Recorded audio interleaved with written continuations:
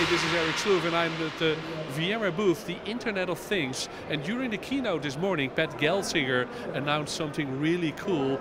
We had a Raspberry Pi running ESXi.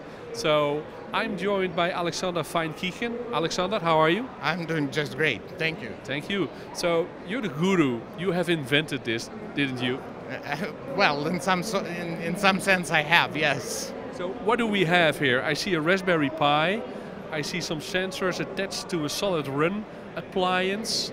The Raspberry Pi is attached to a screen. Can you explain a little bit what's happening here? So uh, what we're showing here is basically two platforms that are running ESXi on, on, on ARM.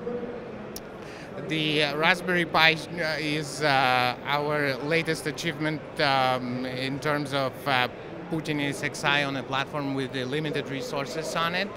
Uh, we're really proud of that. And um, the Solid Run MACCHIATObin is our offering uh, for the uh, edge market um, uh, in uh, being a gateway platform that we want to see there. Okay. Yes. So, and uh, what are those sensors picking up? Is it temperature or sound or pressure? Uh, one of them is a weather sensor. It shows humidity, pressure, and, and temperature. The other one, I'm not sure what it is. um, uh, actually, I was told it would send some explosive uh, materials. Okay, okay. Can you show it on the screen that it actually is connected? Yeah, uh, on, on the big screen, what I can show you a, a process of Pi booting give me a second here. Yes.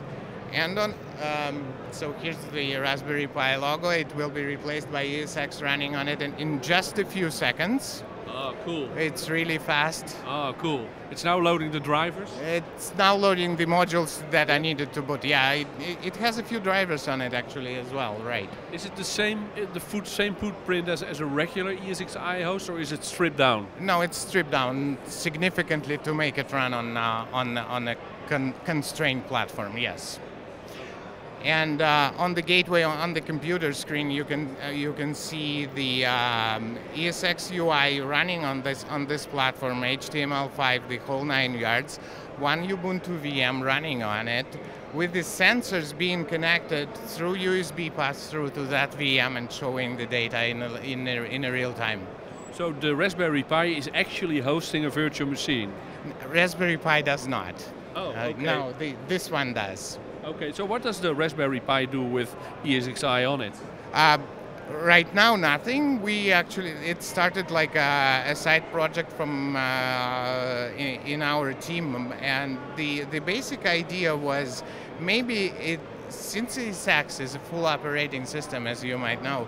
Uh, we can use the ability of that operating system to, to run specific VMware applications. And one of them uh, that we thought about was the, the, um, the vSAN.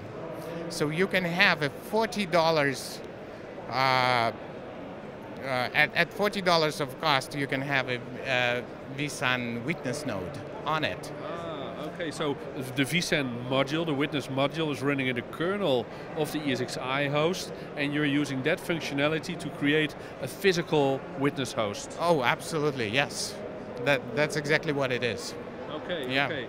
And when I attach storage to this device, can I also put it in a vSAN cluster? Oh yes, yes. We have ported vSAN uh, a year ago. It started as a project for one of our interns and then it uh, ended up in, uh, in, in, in complete success. Oh, yeah, a Raspberry Pi cluster yes. attached to USB keys. Uh, we, we did it on real server, server platforms. The Raspberry Pi came a little later, but yeah, it, it, it is possible today. So when I have a very tiny VM with a very small footprint, tiny Linux for instance, yes. could I migrate that virtual machine onto the Raspberry Pi? In a near future, we, we, we're certainly looking forward to uh, implementing this functionality really soon, yes. Okay, but when you look at vCenter, is it the full citizen? Can you manage this ESXi instance just like a regular ESXi host in the vCenter server? That, that was the idea behind it. We wanted to, uh, to to keep up the good the good stuff that we already have, especially on the management plane.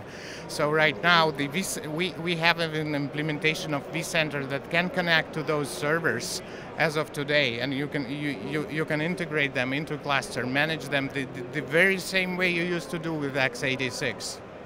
Okay. Yes. And, uh, when you hit this sensor, is there something happening on the screen or? Uh, yeah, the, the, you can see the data changing in real time. If I blow onto it, the temperature will change. And, and yeah, please. There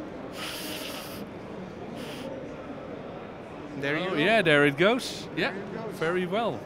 Okay, many thanks for the interview. I'm excited to see this release of ESXi. When can we expect some binaries?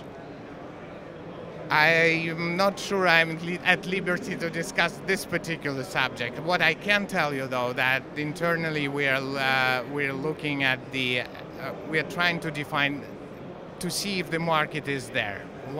Once this task is complete, we will move forward with the productization. But will there will there be a special beta version for Christmas? Mm, most likely not. I'm oh. sorry. Oh, it's a pity. Well, thanks for the interview anyway, and uh, uh, it's great. Thank you. It's been a pleasure. Thank you.